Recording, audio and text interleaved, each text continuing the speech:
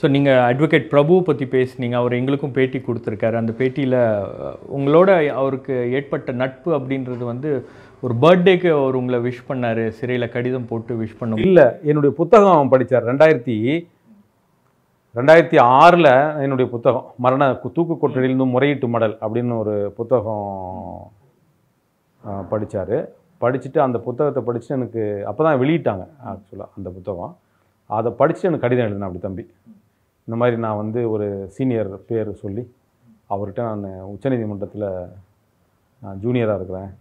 நான் உங்கள் புத்தகம் படித்தேன் அது பெரிய எனக்கு ஒரு தாக்கத்தை உண்டு பண்ணிச்சு. நான் ஏதாவது செய்யணும்னு விரும்புகிறேன் நீங்கள் எந்த சட்ட உதவி வேணாலும் என்கிட்ட கேளுங்க அப்படின்றார். நான் அப்புறம் கடித போக்குவரத்து தொடர்ந்து ஒரு கடித போக்குவரத்து இருக்குது எங்களுக்குள்ளே. நான் அந்த கடிதங்கள்லாம் வந்து நினைக்கும் போது நான் முதல்ல அண்ணன்லாம் எழுதினேன். எனக்கு வயசு தெரியாது. பிரபுக்கு வயசெல்லாம் அண்ணன்லாம் எழுதினேன்.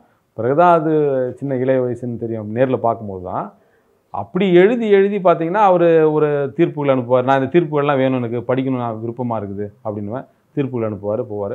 இப்படி ஒரு கிட்டத்தட்ட ஒரு இரண்டு ஆண்டுகள் அந்த மாதிரி ஒரு கடித தொ தொடர்பு தான். முழுக்க முழுக்க அப்படியே போகிறது வர்றது அப்படிங்கிறது அதுக்கப்புறம் நேராக வந்து என்னை வேலூர் சிறையில் சந்திக்கிறேன் அப்படி. சந்தித்து இதோ இன்னைக்கு விடுதலையை வாங்கி தர வரையும் கூட ட்ராவல் ஆகிறப்ப கிட்டத்தட்ட ஒரு பதினாறு ஆண்டுகள்னு வச்சிங்களேன். ஆமாம் பிரபுவுடைய அண்ணன் தான் பாக்கியா.